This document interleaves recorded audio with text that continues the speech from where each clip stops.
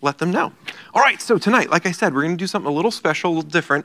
We're going to do something a lot like what I would do with the middle schoolers upstairs. Now, I did a series back in 2019 with them called The History of the World and we broke down the entire world's history into thousand year chunks. It was a millennia every night, and we did six that each covered a millennia, and then later, after all that, we did just the last few years since 1997.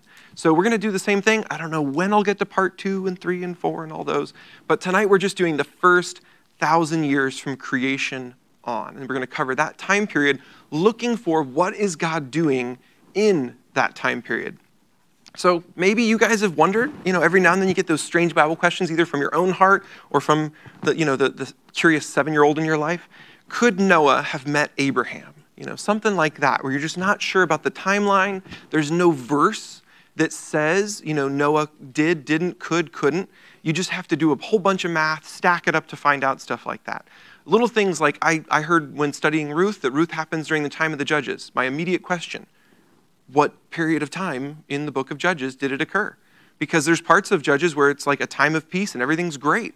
There's other parts of Judges where it's, you know, it's Samson time and is the opposite of peace. It is going very poorly and very loud. So little questions like that that are really hard to figure out by just reading the verses on the page. You actually have to start reading every book and sort of slotting them over each other and figuring out dates and times and ages. And so I've done the math for you guys. I've stacked it all up. And uh, now we can answer interesting questions like what happened between the time that John the Apostle died and the Catholic Church came to, to rise? What was going on in that period? And in it all, we get to see the plan of God working. We get to see what is he doing in human history? What is he doing in the lives of his people? So, if any of that stuff interests you, then this is the study for you guys. And like I said, I don't know when part number two is coming, uh, but we'll see.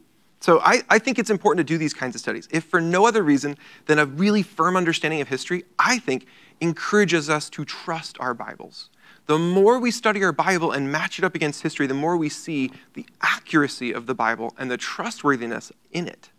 So in these seven part stories, as we see God's plan, uh, we're going to see that it's a redemption plan, that God is constantly working to redeem humanity. Tonight, though, we're going to just look at those first thousand years, like I mentioned. And we're going to see all the way from the creation of the world and mankind with it to the problem of sin introduced and death with that. And then before we're done, we're going to get to see at the end of those thousand years a promise of life after this one, all the way back in Genesis, a promise to, for eternal life. And that's just in the first five chapters. That's it. So that's where we're going to spend the bulk of our time today. We'll do a few cross references, but mostly just in the first five chapters of Genesis. So pop open your Bibles to Genesis chapter 1. Read with me those first five verses. Genesis chapter 1, 1 through 5 says, In the beginning, God created the heavens and the earth. The earth was without form and void, and darkness was on the face of the deep. And the Spirit of God was hovering over the face of the waters. Then God said, Let there be light. And there was light. And God saw the light and that it was good. And God divided the light from the darkness. God called the light day, and the darkness he called night. So the evening and the morning were the first day. There is a presupposition in these first words of our Bibles that God exists. It doesn't explain his existence, it doesn't try and defend his existence, it just assumes his existence. And if you look at the Hebrew, it mixes plurals and singulars in that first statement in such a way that it leads us to believe he is triune from the very first verse of the Bible. It gives us a picture that he is more than one in one. This, this state that he exists in that we can't even comprehend, that he is three in one. Three persons, one God. Then we learn that he peers at disorder. He's floating over the earth, this formlessness, and he creates not just order out of chaos, but beauty and goodness. The first thing needed for all of this to work is light. You need light to show something, you need light to make things seen. And he did this by speaking. It's the first instance recorded in our Bibles of God speaking. And what does he do with that speech? He brings light into the world. And so he reveals something to us just in that statement that his word brings light. By that light, you get life. By that light, you get beauty. That is the power of his word. And we'll see that throughout Scripture. There is much more that he makes in this creation week. I think most of you are familiar to a certain degree with the seven days of creation. You know, on day seven, he rests. But suffice it to say that he reveals all of this to show his role as the creator, the one who is the start to all this. And since then, all of man's attempts to explain our existence, the universe's existence, apart from God, they've been empty and half baked they don't get down to the real question of where does something come from if before it there was nothing. Evolution has become a sort of religious dogma of a naturalistic, materialistic worldview. But any of the predictions that Darwin's ideas contained were disproven during his lifetime. The archaeologists, the paleontologists of Darwin's day laughed at his theories because the fossil record already was known to contradict his suppositions.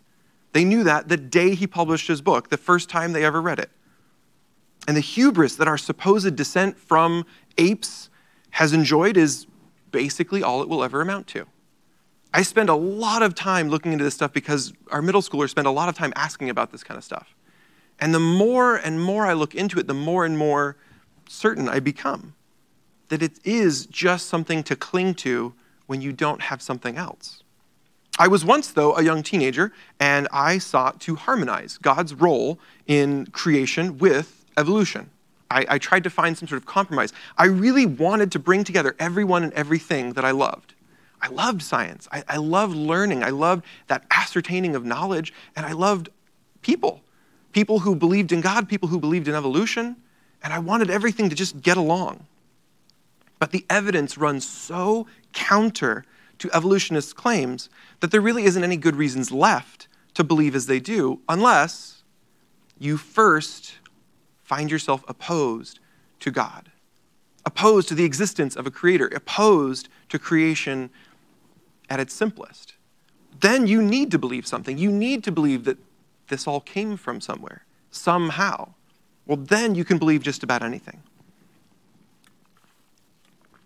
Romans 1:20 says, "For since the creation of the world, his invisible attributes are clearly seen, being understood by things that are made, even his eternal power and Godhead, so that they are without excuse." Paul says that creation calls out to us, and it demands the hand of a creator by its very existence. You can't explain a universe by chance. I don't know if you've ever thought about this from a philosophical point of view chance is not a creative force. In fact, chance is not a force. You, you can't use chance to explain a coin toss. Have you ever thought about this? A coin toss can be recorded, a coin toss can be tracked, and over the course of many coin tosses, you can establish the odds of a certain outcome. But chance never gets a coin to flip through the air. Chance never gets it to come back down. Chance never looks at it to see what it was chance does not have these abilities to cause things to occur. Chance just records the probability of a certain outcome. You have to already have the outcome, you have to have all the forces that made it happen. Chance can't do that. So you are here because God made all this, and He made us. And He knows us, He knows you specifically. That's a beautiful thing. Just to say generically, yes, there's some creator God out there, that's not actually a warm, fuzzy feeling. That's not helpful at all. That doesn't immediately bring light and life into your life. No, you actually have to get to know that God. And he would actually have to be a good and a loving God. And that is the truth that we find in His Word. Psalm 139, 13 through 14 says, For you formed my inward parts, you covered me in my mother's womb. I will praise you, for I am fearfully and wonderfully made. Marvelous are your works. And that my soul knows very well. But God didn't stop creating just the material things, He did all of that. But he had some other ideas that were worth relaying right from the start. And so we get to Genesis chapter 2. You can skip ahead. Genesis chapter 2, down at verse 21.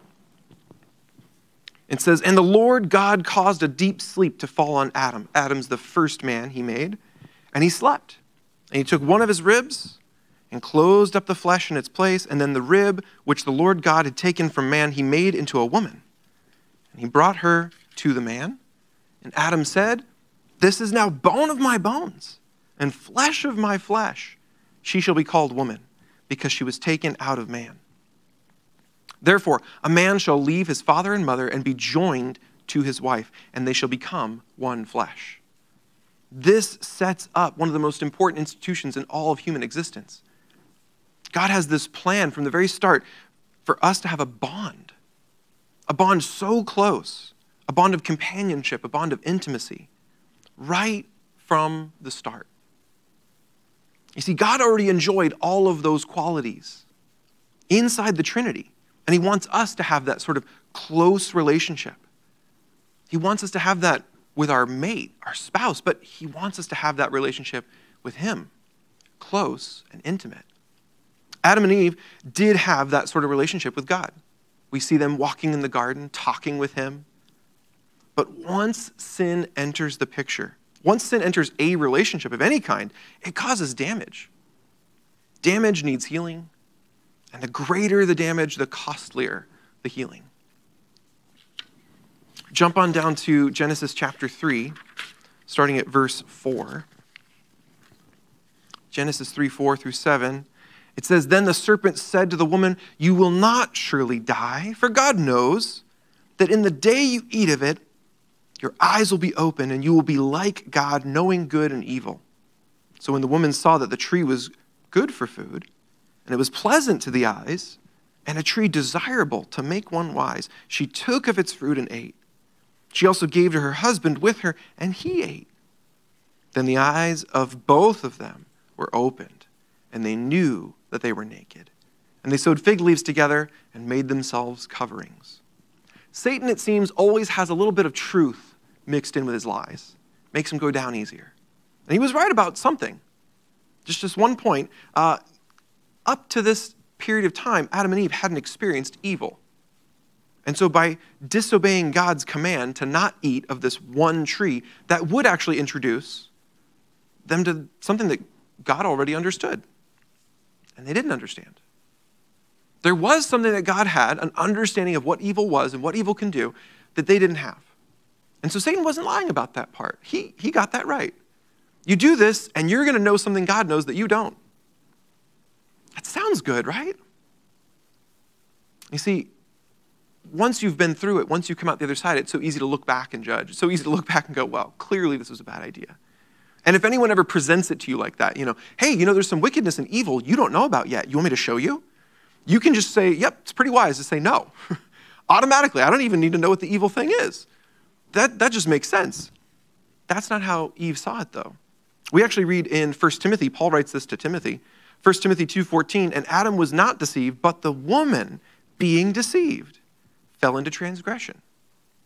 The idea there is that she actually heard what Satan said and she thought, that means this is good for me. To be more like God, to have this sort of shortcut. That's how she was thinking about it. I can become more like God by just doing this. So she was deceived. But Paul doesn't let Adam off the hook. He says, Adam was not deceived. Adam knew that he would be disobeying God to do this. Even if he thought, you know, maybe these are things in a balance. Maybe this is a good thing over here, but also God said no. Maybe he wasn't clear on it, but he did absolutely understand if I do this, I'm disobeying God. And we each have done the same. We have each knowingly acted against what is right, what we know to be right. We've each knowingly betrayed the conscience that God's given us and the commands that God's given us. And now we carry with us that guilt. And unless something can remove it from us, it just stays with us. Unless something can remove it from us, we carry that guilt to our grave. So, why does that matter? Why does it matter that you have guilt in your life? Why is that such a big deal? Why is this the opening to the entire Bible? The opening to human history? Paul answers that one too. He does it in Romans 5. And this answers another question I get sometimes. An infinite God, right? He can do anything. Why can't he just forgive us free and clear? Why can't he just point at the whole world and point his forgiveness gun and go zap, and everyone's forgiven all at once? check out Romans 5. Romans 5, 12 through 15 says, Therefore, just as through one man sin entered the world, and death through sin, and thus death spread to all men, because all sinned. For until the law, sin was in the world, but sin was not imputed when there is no law. Nevertheless, death reigned from Adam to Moses, even over those who had not sinned according to the likeness of the transgression of Adam, who was a type of him who was to come. But the free gift is not like the offense. For if by one man's offense many died, much more the grace of God and the gift by the grace of one man, Jesus Christ, abounded to many. Death is attached to us. The same way our sin nature is attached to us. It's by inheritance, it's by birth. We are powerless to rid ourselves of it and left uncured, it is 100% fatal. That is the state we find ourselves in. That is the state we find ourselves in. We were born into death. Luckily, that's not the end of our study tonight. That would be quite the downer to finish on. No, no, no, no. There's much more that takes place in these thousand years. This is all still right at the beginning. And, and the, the great hope of eternal life, of a life after this one, comes through in chapter 5. Before we get there, though, we have to cross through chapter 4. Chapter 4 contains the first big consequence of the fall. Let's read about Adam and Eve's first two sons, Cain and Abel. So this will be Genesis 4 3 through 8.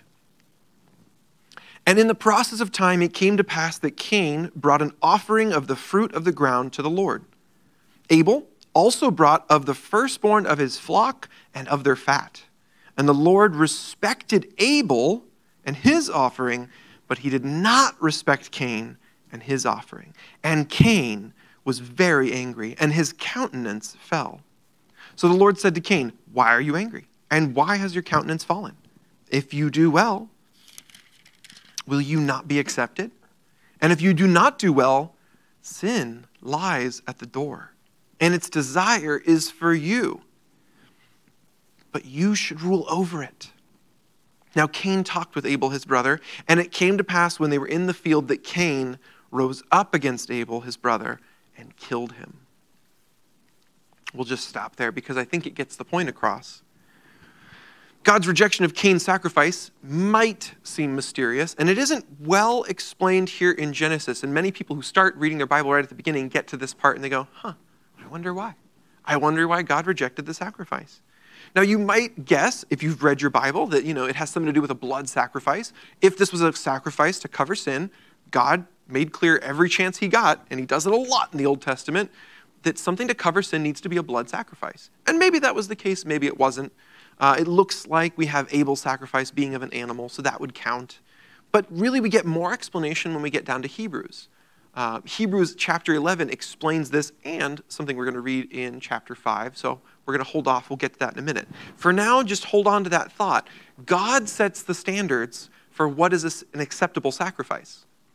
He's the one who sets the standards. So if you don't make the cut, that means you didn't meet the standards. It's like being upset with the Olympic Committee that you didn't qualify when you didn't practice and you're overweight and you don't know how to ski, and they won't let you go ski in the Olympic competition. That's just not fair. Well, hmm, isn't it though? Yeah, they're the one who sets the standard. If you meet the standard, you get to ski. Simple. So God's the one receiving the sacrifice. He gets to set the standard. And if you could go back in time, this event had so many repercussions within this little family. Because you have to think about this that this group of humans is just one family. It's just all the people who've descended from Adam and Eve. I don't know how far they've spread yet, but they're all related. So it's not as though some random person murdered your uncle.